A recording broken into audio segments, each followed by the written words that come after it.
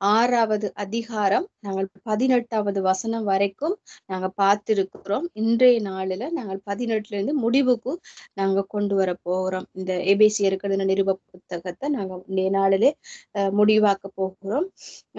இந்த காரியத்துல நம்ம கடைசியாக பார்த்தது என்னன்னு சொன்னா இந்த கடைசி காலத்துல ஆஹ் தேவனுடைய பிள்ளைகளா இருக்கிற நமக்கு வரக்கூடிய ஒரு காரியத்தை எச்சரிப்பு ஊட்டுகிறாரு. அது என்ன அப்படின்னு சொன்னா எங்களுக்கு போராட்டங்கள் உண்டு அப்படின்னு சொல்லி பிசாசினுடைய தந்திரங்களை நாங்கள் எதிர்த்து நிக்க திராணி உள்ளவர்கள் ஆகும்படியா இருக்கத்தக்கதாக சர்வாயுத வர்க்கத்தை நீங்க தரித்து கொள்ளுங்க.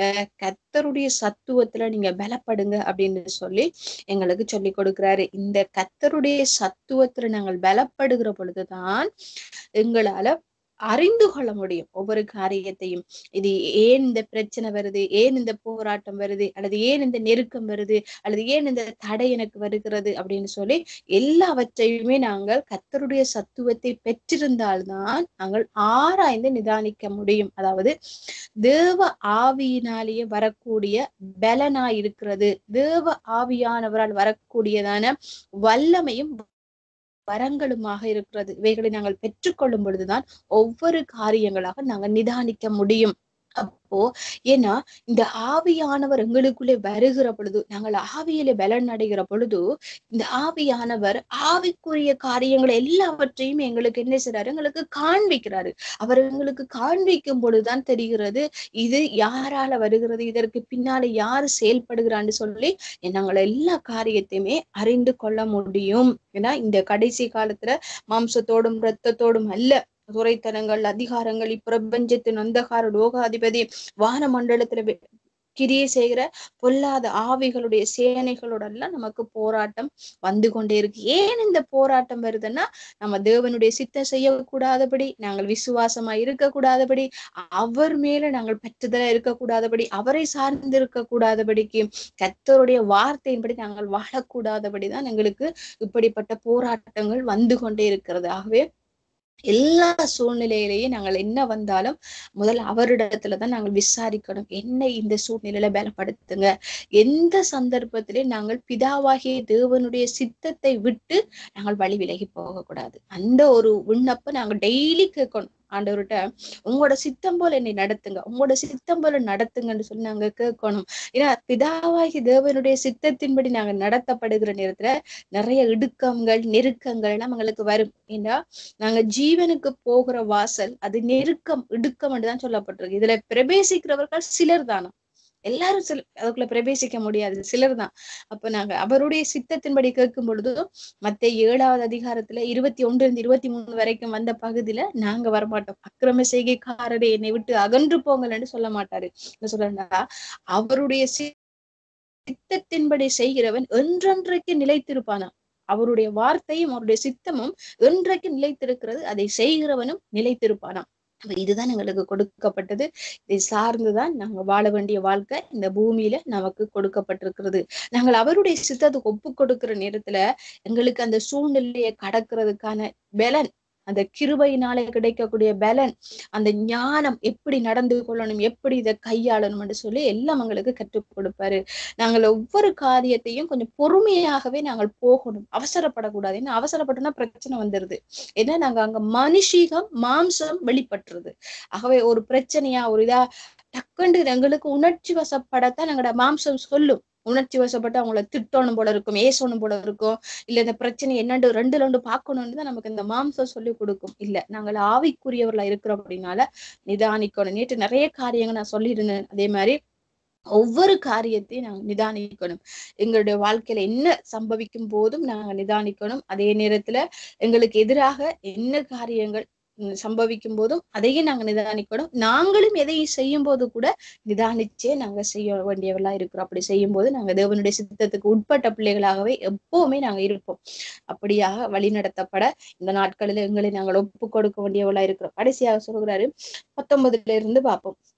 சுவிசேஷத்துக்காக சங்கிலிகளில் கட்டப்பட்டிருக்கிற ஸ்தானாதிபதியாகிய நான் அதை பற்றி பேச வேண்டியபடி தைரியமாய் பேசத்தக்கதாக நான் தைரியமாய் என் வார்த்தை வாயை திறந்து சுவிசேஷத்தின் ரகசியங்களை அறிவிப்பதற்கு வாக்கு எனக்கு கொடுக்கப்படும்படி எனக்காக விண்ணப்பம் பண்ணுங்கள். ஒரு காரியத்தை சொல்றாரு.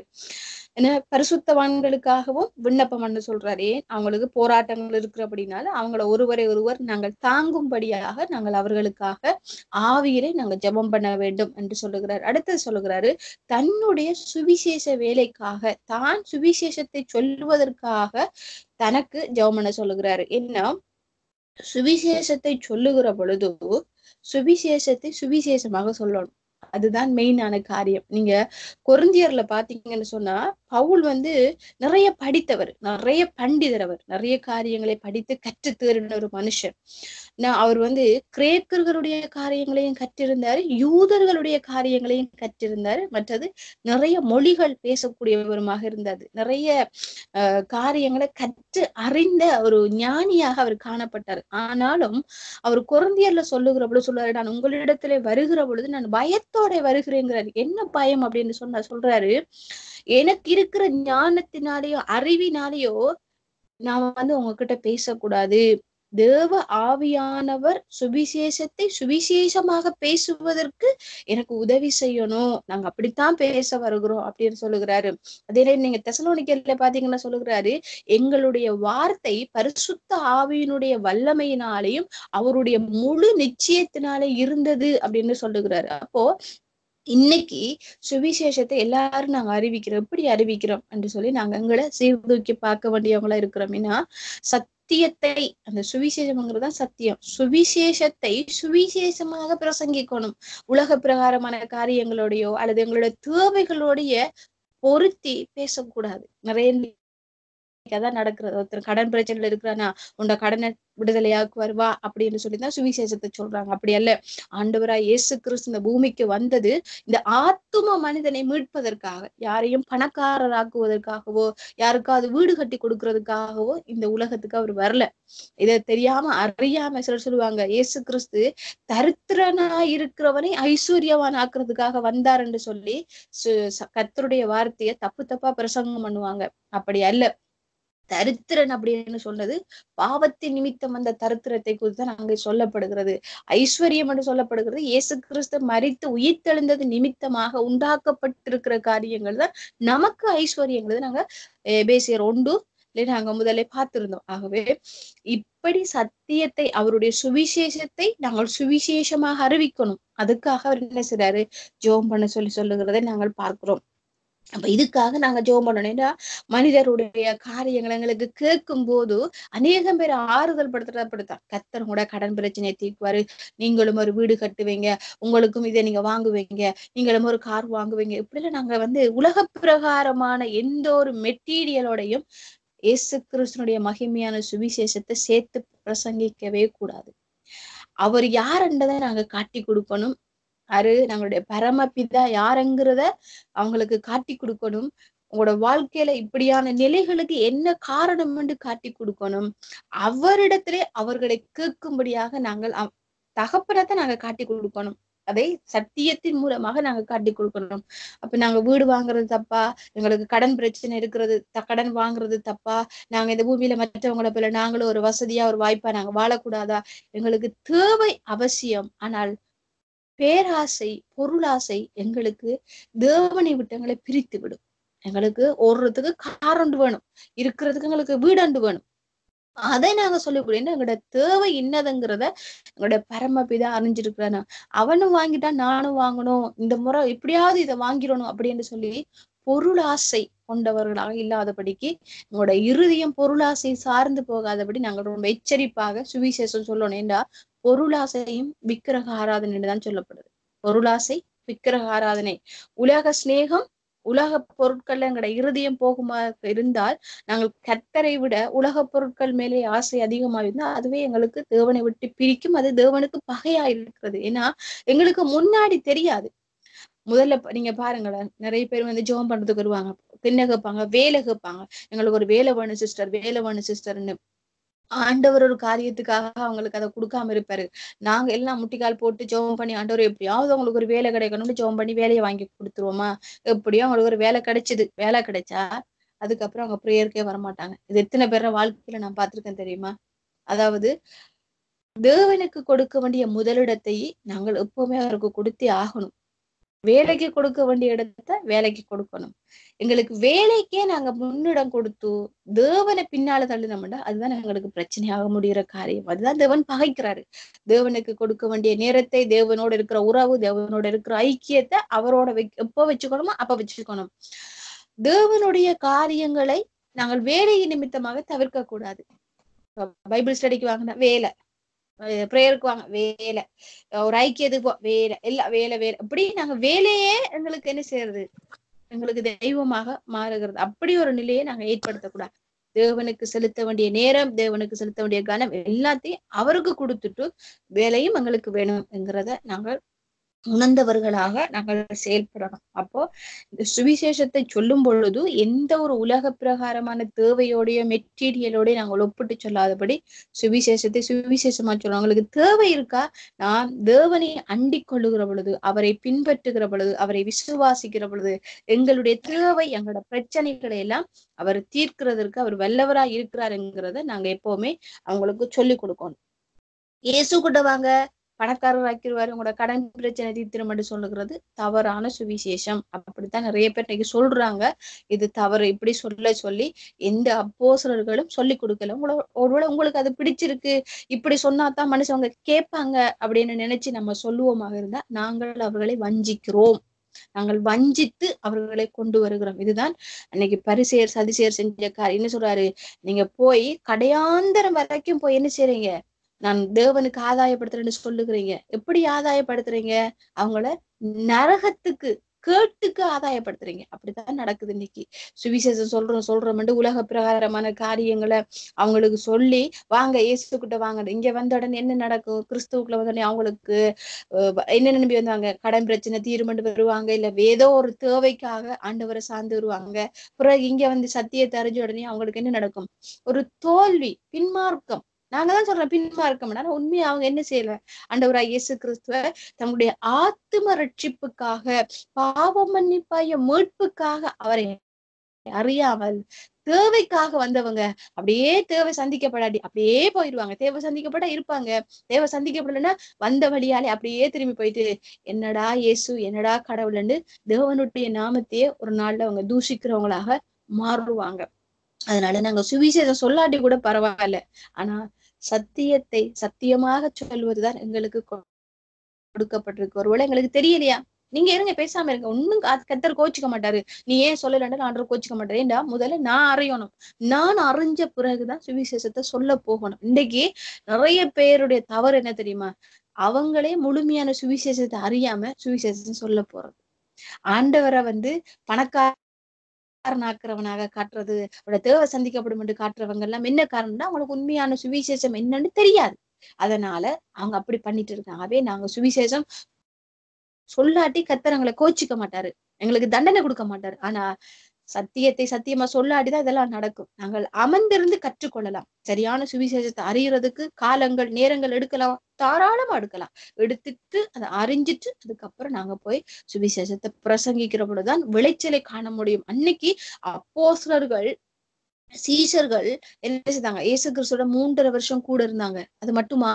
பரிசுத்த ஆவியானவர் வந்துதான் இயேசு கிறிஸ்து சொல்லி கொடுத்த காரியங்களுக்கான விளக்கங்களையும் அதற்கான வெளிப்பாடையும் பரிசுத்த ஆவியானவர் அந்ததுக்கு அப்புறம் அவங்க பெற்றுக்கொண்டாங்க அப்படித்தான் நாமும் அந்த எவ்வளவு காலம் நம்மளை அமர்ந்திருந்து கற்றுக்கொண்டும் அவ்வளவு காலம் கற்றுக்கொண்டு சுவிசேஷத்தை சுவிசேஷமாக சொல்ல நாங்கள் புறப்பட்டு போனோம். இதுக்காக நாங்க ஜெபம் பண்றது ஒண்ணும் தப்பே கிடையாது. நாங்க ஜெபம் பண்ணலாம். சத்தியத்தை சரியா சொல்லணும் ஆண்டவரே.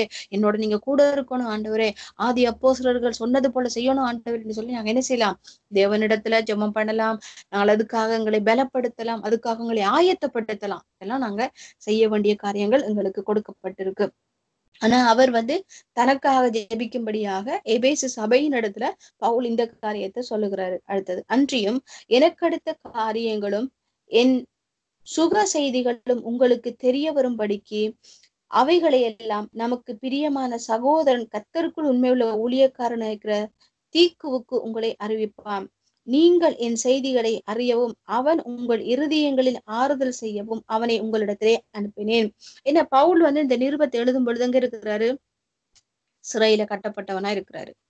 அப்போ இந்த பரிமாற்றம் யார் மூலமா நடக்குது அப்படின்னா தீகு அப்படிங்கிற ஒரு மனிதர் மூலமாக இங்க நடக்கிற காரியங்களை அவர் போய் சொல்றாரு. ஜெயில என்ன நடக்குது? இவங்க எப்படி இருக்கிறாங்க? எபேசு பட்டணத்தார் எப்படி இருக்கிறாங்க? தெசலோனிக்கர் எப்படி இருக்கிறாங்க? கலாத்தியர் எப்படி இருக்கிறாங்க? அப்படின்னு சொல்லி இந்த சபைகள்ல நடக்கிற காரியங்கள்லாம் இப்ப என்ன செய்யறாங்க அறிவிக்கிறாங்க. ஒவ்வொருத்தரும் யார் இப்ப விசிட் போறாங்களோ அவங்க போயிட்டு போயிட்டு சொல்றாங்க. தீத்து போனாரு தீமெத்தி போனாரு. தீகு போனார் இப்படி இவங்க எல்லாம் போகும்போது சொல்றாங்க. அப்ப அவங்க கிட்ட சரி இந்த கடிதத்தை எழுதி சொல்றாங்க. ஏன்னா அங்க அந்த நாட்கள்ல கள்ள எழுத்தாணி இருந்தது. கள்ள எழுத்தாணி என்று சொன்னா பவுல் எழுதுகிற மாதிரியே பொய்யால கடிதங்களை எழுதி அனுப்புனாங்க. அதனால சில இடத்துல சொல்லுவாரு இது என் கையெழுத்தினாலே நான் இதை எழுதி உங்களுக்கு அனுப்புகிறேன் எல்லாம் சொல்லி மற்ற நிருபங்கள் எல்லாம் சொல்லியிருக்கு. அப்படி பவுல் வந்து எழுதி அனுப்புன காரியத்தை சொல்றாரு. இப்ப என்ன சொல்றாருன்னா தீகுக்கு வந்து என்னுடைய சுக செய்தியை உங்களுக்கு அறிவிப்பான். உங்களுடைய சுக செய்தியை அவன் எனக்கு அறிவித்தான். நீங்க எப்படி இருக்கிறீங்க? அப்படிங்கிற செய்தி எனக்கு அறிவித்தான். நம்ம காரியத்தை சொல்லுகிறாரு.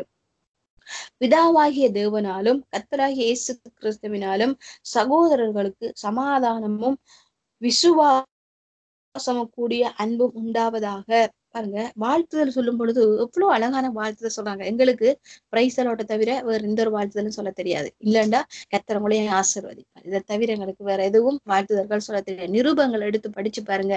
அவ்வளவு இயேசு கிறிஸ்து மறித்து உயிர்த்தெழுந்தது நிமித்தமாக நமக்கு என்னென்னலாம் உண்டாக்கப்பட்டிருக்கோ அதையெல்லாம் விசுவாசித்தவர்களாக அந்த ஆசீர்வாதங்களை அந்த வாழ்த்துதல்களை அவங்க தெரிவிக்கிறாங்க. நம்ம எபேசியர் ஒன்று முடிலே பார்த்தோம். ஆவிக்குரிய சகல ஆசிர்வாதங்களாலும் கிறிஸ்துவுக்குள்ளாக நம்மளை ஆசிர்வதித்திருக்கிறாரா? ஏன்னா கிறிஸ்து மூலமாக நாங்கள் பெற்று கொண்டிருக்கிறத ஒருத்தருக்கு ஒருத்தர் சொல்லி வாழ்த்துறாங்க. ஆதி அப்போசலர்கள் அப்படித்தான். ஒவ்வொரு நிருபங்களும் நீங்க பாத்தீங்கன்னா அவங்க ஒவ்வொரு அப்போசலர்களும் அந்த அந்த சத்தியத்தை உணர்ந்தவர்களாக அந்த வாழ்த்துதலை சொல்லுவாங்க. இங்கே சொல்றாரு இயேசு கிறிஸ்துவினால் அவங்களுக்கும் சகோதரராக இருக்கிற நம் அந்த சபையார பார்த்து சொல்லுகிறாரு சமாதானமும் விசுவாசத்தோட கூடிய அன்பு உண்டாவதாக அப்படிங்கிறாரு. இப்ப சகோதரர் அப்படின்னு சொல்லும் பொழுது நாமும் சகோதரர்களா? எதனாலன்னா ஒரே ரத்தத்தினாலே மீட்கப்பட்டதனாலேயும் சத்தியத்துக்கு கீழ்ப்படிந்து நடக்கிறதுனாலையும் நம்ம இயேசு கிறிஸ்து பரிசுத்தமாக்கி இருக்கிறதுனாலதான் நாங்க வந்து ஒருத்தருக்கு ஒருத்தர் சகோதரர். ஏன்னா ஆதாமிலிருந்து பிறந்ததுனால நாங்க சகோதரர்கள் ஒருத்த ஒரு ஒரே புறப்பா ஒரு தகப்பனுக்கு பிறந்த சகோதரர் அப்படின்னு சொல்லுகிறோம். இப்ப நாம வந்து ஆவிக்குள்ளாக சத்தியத்தினால கிறிஸ்துவ ரத்தத்தினாலே மீட்கப்பட்டு இருக்கிறபடினால் நாமும் ஒருத்தருக்கு ஒருத்தர் சகோதரர்கள். அந்த அந்த வாழ்த்துதல் தான் இங்க சொல்ற வாழ்த்துதலா இருக்கு. நம்முடைய கத்தராய் இயேசு கிறிஸ்துவனிடத்தில் அழியாத அன்புடனே கூடிய அன்பு கூறுகிற யாவருக்கும் கிருபை உண்டாவதாக. ஆமேன் அப்படின்னு சொல்றப்போ நம்ம அழியாத அன்புடனே அன்பு கூறணுமா? இந்த இந்த நிருபத்தினுடைய முதல் பகுதியை நாங்க என்ன பார்த்தோம்டா அவருக்கு முன்பாக குற்றமற்றவர்களும் அன்பில் பரிசுத்தம் உள்ளவர்களுமா இருப்பதற்காக நாங்கள் அழைக்கப்பட்டோமா? அந்த அன்பு எதையுமே எதிர்பார்க்காதபடியான அன்பு கூறும்படியாக நாங்கள் அழைக்கப்பட்டிருக்கிறோமா? இங்கே சொல்லுகிறாரு அழியாத அன்புடனே அந்த அன்பு மாறாத அன்பா இருக்கணுமா? நாங்கள் தேவன் மேல வைத்திருக்கிற அன்பு மாறாத அன்பாக நாங்கள் அன்பு கூறணும் அப்படிங்கறத சொல்றாரு. நிறைய பேருக்கு பாத்தீங்கன்னா ஆரம்ப காலத்துல ஆண்டவர் ஆண்டவர் ஆண்டவர் இருப்பாங்க. பிறகு பிறகு நெருக்கங்கள் பாடுகள் சோதனைகள் இப்படி எல்லாம் வர நேரம் அப்படியே கொஞ்சம் கொஞ்சம் கொஞ்சம் கொஞ்சமா விலகி போகும் சில பாத்தீங்கன்னா ஸ்டார்ட்ல வந்து ஜபம் எல்லாத்துக்கும் முக்கியத்துவம் கொடுப்பாங்க. பிறகு பாத்தீங்கன்னா கொஞ்சம் கொஞ்சம் மங்கி மங்கி போகும். அப்படி இருக்கவே கூடாது. எங்களோட நாளுக்கு நாள் எங்களோட அன்பும் கூடி தேவனோடு நாங்கள் வைக்கிற ஐக்கியத்துக்கான நேரத்தை நாங்கள் அதிகமாக நாங்கள் கொடுக்கணும். எவ்வளவு நேரம்? இருபத்தி நாலு மணி தேர்தல் எவ்வளவு நேரம்? என்ன பொறுத்தவரைக்கும் இருபத்தி நாலு மணி நேரமும் என்னுடைய ஆவி தேவனுடைய ஆவியோட சம்பாஷனை பண்ணி கொண்டு தேவனோட நாங்கள் உறவாடி கொண்டிருக்கணும். எங்களோட சரீரம் தூங்கலாம். எங்களோட ஆத்மா தூங்கலாம். எங்களோட ஆவி தேவனோட எப்பவுமே தொடர்புல இருக்கணும். இதுதான் எங்களுக்கு வைக்கப்பட்ட நிலை அந்த அன்பை அந்த கல்வாரி அன்பு இருக்கு அந்த அன்பு நாங்க உணர்ந்தோம் என்று சொன்னா அந்த அந்த மகிமையான அந்த அன்பை நாங்க ருசிக்க ஆரம்பிச்சோம் வெளிக்கிட்டு வெளிக்கிடுங்களேன் அந்த ருசிக்க ஆரம்பிச்சோம்னா ஆண்டவரை விட எங்களுக்கு வேற எதுக்குமே எங்களுக்கு பெருசாவே தோணாது. இந்த அனுபவத்துக்குள்ள வர்றதுன்றது கொஞ்சம் கடினம். எங்களுக்கு இந்த உலகம் எங்களை விடாது. எங்களோட குடும்பங்களை விடாது. எங்களோட கடமைகள் எங்களை விடாது. ஆனாலும் இவைகளை எல்லாம் நாங்கள் ஒதுக்கி விட்டு என்னுடைய ஆவி என்னுடைய ஆத்மா அந்த கல்வாரியின் அன்பை அவர் சொல்றாரு ஒவ்வொருவரும் நாம் ஒவ்வொருவருக்காகவும் அவர் மரணத்தை அந்த கல்வாரில ருசி பார்த்தார். ஒவ்வொருவருக்காக. உலகத்துல இருக்கிற எல்லா மக்களுக்காகவும் எல்லாருடைய பாவத்துக்காகவும் அவர் மரணத்தை ருசி பார்த்தாராம். எபிரேயர் இரண்டாவது அதிகாரத்துல சொல்லப்படுது. அப்போ எனக்காகவும் தான் அந்த மரணம். எனக்காக அவர் அடிக்கப்பட்டது என்ன அன்பு? அப்படின்னு பாக்குற நேரம் பிதா மீல அவர் அன்பு கூர்ந்ததுனால தன்னையே ஜீவ பலியாக தன்னுடைய ஜீவனை கொடுத்தார். அந்த ஜீவனை கொடுக்கும்படியான அன்பு நாங்க பாக்குறோம் அதே பிதா மேல கூர்ந்த அன்புதான் நம்ம மேலே. நம்மளை மீட்கும்படியாக தூதர்களுக்கு அவர் கை கொடுக்காம ஆப்ரஹாமின் சந்ததியா இருந்தவர்களுக்கு அவர் கை கொடுத்தார் சொல்றாரு. ஏன்னா அந்த அன்புதான் அப்ப அந்த அன்பை நாங்க உணர்ந்தோம்னு சொன்னா நாங்கள் தேவனிடத்துல எதையுமே எதிர்பார்க்க மாட்டோம். தேவன் இதை எனக்கு கொடுக்கலையே தேவன் எனக்கு இதை செய்யலையே நான் ஜெபிச்சேன் ஜெபம் கேட்கப்படலையே என்று சொல்லிடலாம் எங்களுடைய இருதயத்துல கொஞ்சம் கூட அந்த அந்த எண்ணமே வராது. ஏன்னா நான் அடிக்கடி சொல்ற ஒரு விஷயம். நாங்க யாரு எங்களுக்காக நாங்க ரட்சிக்கப்படுது நாங்க ஜெபிச்சதே இல்லை. சிலர் சொல்றாங்க. நான் ஜெபிச்சுதான் அவங்க ரட்சிப்புக்கு வந்தாங்க இவங்க ரட்சிப்புக்கு வந்தாங்கன்னு இந்த காரியம் அவருடைய கிருபையை மட்டுப்படுத்துகிறது. ஏன்னா கிருபையினால் விசுவாசத்தை கொண்டு ரட்சிக்கப்பட்டோம் என்று சொல்லப்படுது. அவருடைய கிருபை தான் அதுல மனுஷனுடைய ஜெபத்துக்கோ உபவாசத்துக்கோ எதுக்குமே இடம் கிடையாது. கிருபை என்று சொல்லப்படுகிற நேரத்துல அதுல கிரியைக்கு இடம் கிடையாது. அப்படி அவருடைய கிருபையினால நம்மை ரட்சித்த தேவன். அவ்வளவு அன்பு கூர்ந்தபடினாலதான் அந்த கிருபையை நமக்கு தந்தாரு. அந்த அன்பை நாங்கள் உணரும் பொழுது இந்த உலகத்துல நாங்கள் எதுக்குமே ஆண்டவருடைய காலத்துல நாங்க எதுக்குமே சாக்கு போக்கு சொல்ல மாட்டோம். வேலை இருக்கு வீட்டுக்காரர் விட மாட்டாரு அங்க போகலாது நெட் இல்ல அது இல்ல என்னென்ன எல்லாம் இன்னைக்கு எத்தனையோ சாக்கு போக்கு நாங்க சொல்றோம் இல்லையா? எந்த சாக்கு போக்கு நாங்க சொல்ல மாட்டோம். ஆண்டவருக்கு அவருக்கு அவரோட இருக்கிற உறவுல நாங்க நாளுக்கு நாள் பலப்படுவோம் அவருக்கு கொடுக்க வேண்டிய அந்த முதல் கனம் எல்லாத்தையும் நாங்கள் அவருக்கு நாங்க செலுத்துவோம். நிறைய பேர் நாங்க நினைக்கிறோம் என்னன்னா ஆஹ் சரீர பிரகாரமாக நாங்க கொடுக்குற முக்கியத்துவம் தான் இல்ல. எங்களோட ஆவி எப்பவுமே அவரோட இணைஞ்சிருக்கணும். நான் வந்து வேலை செஞ்சு கொண்டிருந்தாலும் என்னுடைய ஆவி தேவ ஆவியோட இணைக்கப்பட்டதாக என் தகப்பனோட உறவாடி கொண்டே இருக்கணும். என்னோட கை வேலை செய்யலாம் என்னோட கால் வேலை செய்யலாம் என்னோட வாய் கூட சாப்பிட்டு கொண்டே இருக்கலாம். இருந்தாலும் என்னுடைய ஆவி அவருடைய ஆவியோட இணைக்கப்பட்டு அந்த உறவு எங்களுக்கு எப்பவுமே இருக்கணும். அந்த அன்பை நாங்கள் எண்ணும் பொழுது நாங்கள் நன்றி செலுத்தி நாங்கள் பாடுறோமே. நீங்க உணர்ந்து பாருங்க நான் யாரையும் நான் குறை சொல்வதற்காக இல்லை. இந்த சொல்ற காரியம். நீங்க நன்றி செலுத்தி துதிக்கும் பொழுது நன்றி ஆராதனை செய்யும் பொழுது உங்க நீங்க செய்யற நன்றி ஆராதனை நீங்களே ரெக்கார்ட் பண்ணுங்க.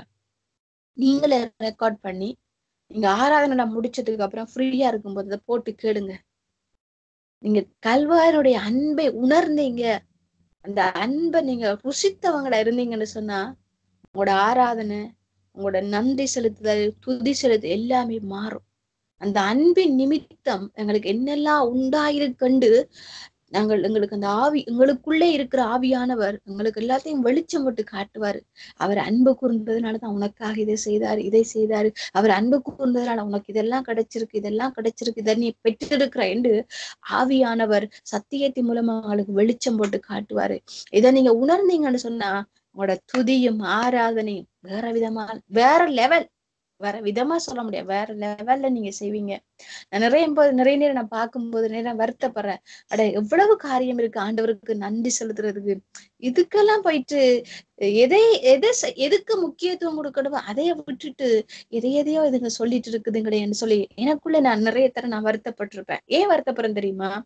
இந்த உலக பிரகாரமான காரியத்தை தான் சொல்லி குமிப்பாங்க. இதை தந்தைங்க ஆண்டவரே அதை தந்தைங்க ஆண்டவரே இதை செய்திங்க ஆண்டவரே அதை செய்திங்க. இந்த உலக பிரகாரமான காரியத்துக்குள்ளே மட்டும்தான் அவங்களோட சிந்தை இருக்கும். அப்படி இல்ல. எங்களுக்கு எங்களுக்குள்ளே இருக்கிற ஆவியானவர் ஆவியில நிதானித்து ஆவிக்குரிய ஆசிர்வாதங்கள் தான் எங்களோட ஐஸ்வர்யம். கிறிஸ்து இயேசுவினால சிலுவை நிமித்தம் எங்களுக்கு உண்டாயிருக்கிறது தான் ஐஸ்வர்யம். அதை யாராலையும் பறிக்க முடியாது. இந்த உலகத்துல இருக்கிற எல்லாம் ஒரு நாள் அழிஞ்சு போகும். யாரும் திருடவும் முடியும். ஆனா அது ஆசிர்வாதம் என்று சொல்லி கிறிஸ்துவின் நிமித்தம் அவருடைய மரணத்தின் நிமித்தம் அவருடைய உயிர்த்தழுதல் நிமித்தம் அவருக்கு கிடைச்சிருக்குதே. அது யாராலையும் திருட முடியாது. அது தேவனால கொடுக்கப்பட்டது. அதை நாங்கள் எண்ணி அதை நாங்கள் துதிக்கும் பொழுது அதுதான் உண்மையான துதியும் கனமும் மகிமையும் ஆண்டவருக்கு செலுத்துறது. அதை நாங்க ஒவ்வொருத்தரும் எங்களோட வாழ்க்கையில உணர்ந்தவர்களாக நாங்கள் அதை செய்யணும். முயற்சி பண்ணி பாருங்க. உங்களோட நீங்க துதி ஆராதனை ரெக்கார்ட் எடுத்துட்டு நான் எத்தனை விஷயம் நான் ஆவிக்குரிய விஷயத்துக்காக நான் அவருக்கு நன்றி செலுத்தி இருக்கிறேன் எத்தனை விஷயம் நான் ஆவிக்குரிய விஷயத்துக்காக அவருடைய ஞாபகத்தை நான் மகிமைப்படுகிறேன் உங்களை நீங்க நிதானிக்க முடியும். நான் என்ன நிதானிக்கிறேன்? நீங்க உங்களை நிதானிக்கேன்னா நம்மை நாமே நிதானித்தோமே ஆனால் நாங்கள் தண்டனைக்கு தப்பு வித்துக் கொள்கிறோம்லாம் இருக்கிறோம். அப்ப நாங்க நிதானிச்சு பார்ப்போம். இன்னும் அவருடைய அன்பை உணர்ந்து அவருடைய அன்புக்கு ஈடாக இந்த உலகத்துல செலுத்துவதற்கு ஒன்றுமே இல்லை. நாம அன்பு கூறுவதுதான் அவருக்கு கொடுக்க வேண்டிய அடுத்த காரியமா இருக்கு. அவருக்கு அன்பு கூ அந்த அன்பு கூறுவதுங்கிறது அவருடைய கற்பனையின்படி நாங்கள் வாழ்வதுதான் அன்பு கூறுவது. அந்த அவருடைய வார்த்தைக்கு கீழ்ப்படிந்து அந்த வார்த்தையின்படி நாங்கள் வாழ்வது. அதை விசுவாசித்து வாழ்வதுதான் எங்களுக்கு கொடுக்கப்பட்டிருக்கு. நாங்கள் அப்படியா ஒவ்வொருவரும் நாங்களை ஆராய்ந்து பார்ப்போம். இன்னும் அவருடைய கற்பனைகளுக்கு நாங்கள் கீழ்ப்படிவோம். இந்த அன்பின் நிமித்தம் எங்களுக்கு கொடுக்கப்பட்ட பிரமாணம் அன்பின் பிரமாணம். அந்த அன்பின் பிரமாணத்தை நிறைவேற்றுவதற்கு ஆவி எங்களுக்கு கொடுக்கப்பட்டிருக்கு. அந்த தேவ ஆவியானவருடைய உதவியோட அதை நாங்கள் செய்யும் பொழுது அதுதான் அவருக்கு செய்கிற நாங்கள் செய்யற காரியமா இருக்கு. அதாவது விரும்பத்தக்க ஒரு காரியமா இருக்கு. வேற நாங்கள் எங்களுக்கு நாங்கள் கொடுக்கிறதோ எதுவுமே அவருக்கு அவரை ஏற்றுக்கொள்வருகிற ஒரே காரியம் நாங்களும் அவரிடத்துல அன்பு கூறுவோம். அந்த கற்பனை தான் நமக்கும் கொடுக்கப்பட்டிருக்கு. இப்படி நாம அன்பு கூறுவோம். அவருடைய அன்பை எண்ணி அந்த அன்பை உணர்ந்தவர்களாக அன்பு கூறுவோம். கத்தர் நம்மளை ஒவ்வொருவரையும் இந்த மாதிரி நடத்துவாராக. நன்றி செலுத்துகிறோம். தகப்பனே பிதாவே இந்த நாளிலும் கத்தாவே நாங்கள் ஒவ்வொருவரும் கத்தாவே அழியாத அன்புடனே யாவரும் அன்பு கூற நீ எங்களுக்கு உதவி செய்யும்படி அப்பு கொடுக்கிறோம் ஐயா. நீங்கள் எங்களுக்காக செய்தவைகளை எண்ணி ஐயா நாங்கள் உண்மை உயர்த்த உம் நாமத்தை மகிமைப்படுத்த எங்களுக்கு நீங்க உதவி செய்யும்படி